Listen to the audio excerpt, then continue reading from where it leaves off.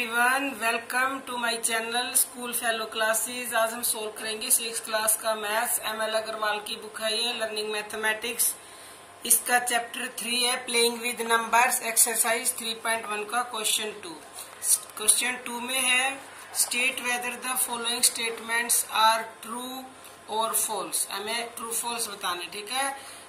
Part इसके कई part है स्टेप बाय स्टेप सारे पार्ट्स करते हैं। This sum of three odd numbers is an even number ये ट्रू है या फॉल्स है?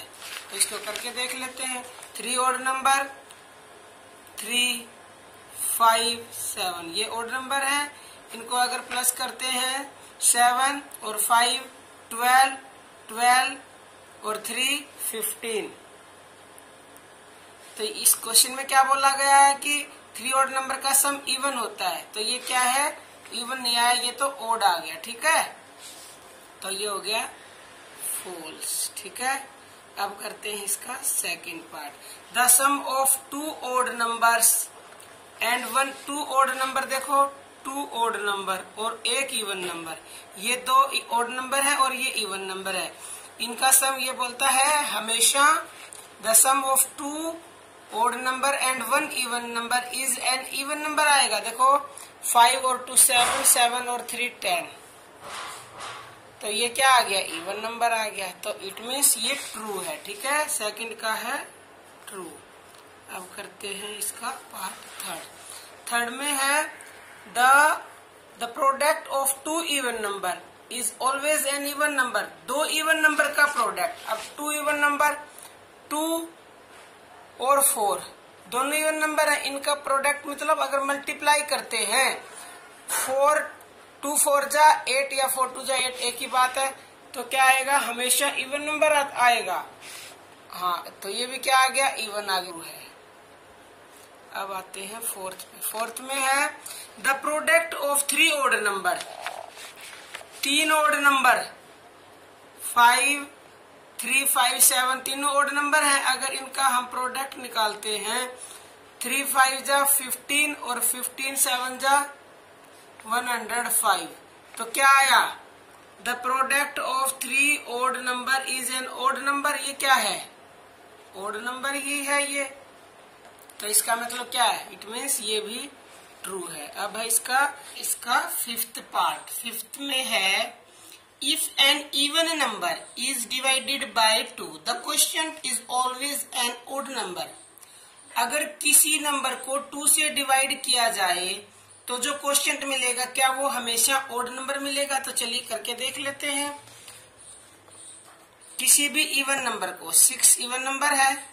अगर टू से डिवाइड करते हैं तो टू थ्री जा सिक्स ये तो मिल गया ओड नंबर बट ये कह रहे क्या हमेशा अगर हम ये टेन क्या है, इवन नंबर, इसको टू से डिवाइड करेंगे तो टू फाइव जा टेन। ये भी ओड मिल गया। और अगर हम फोर को, फोर, ये एक इवन नंबर है, और इसको टू से करेंगे तो टू टू जा फोर। ये ये इवन मिल गया, ये ओड मिला, ये ओड मिला। तो ये ज़रूरी नहीं है कि क्वेश्चन हमेशा ओड मिले। तो ये क्या हुआ? फॉल्स है। ये क्योंकि हमेशा ओड नहीं मिलेगा, कभी इवन भी मिल सकता है और कभी ओड भी मिल सकता है। Understood all prime numbers are odd क्या सभी प्राइम नंबर्स ओड होते हैं? सभी प्राइम नंबर्स ओड नहीं होते। क्यों? क्योंकि टू भी प्राइम नंबर होता है। टू को छोड़ के बाकी सारे प्राइम नंबर ओड होते हैं। तो ये फॉल्स है। अब है seventh all even number are composite क्या सारे इवन नंबर्स कंपोजिट होते हैं? क्या होते हैं? कंपोजिट नंबर वो होते हैं जिसके दो से ज़्यादा फैक्टर होते हैं। वैसे तो इवन नंबर ज़ीरो को छोड़ के, दो से जो कम है, ज़ीरो भी एक इवन नंबर होता है, क्योंकि किसी के लास्ट में टेन है ट्वेंटी है ज़ीरो है।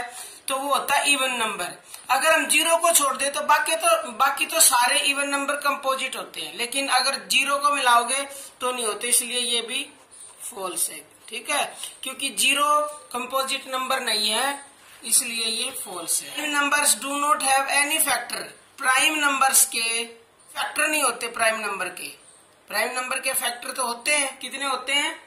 टू फैक्टर होते हैं। Prime number do not have any factor तो ये फॉल्स कह रहा होते हैं।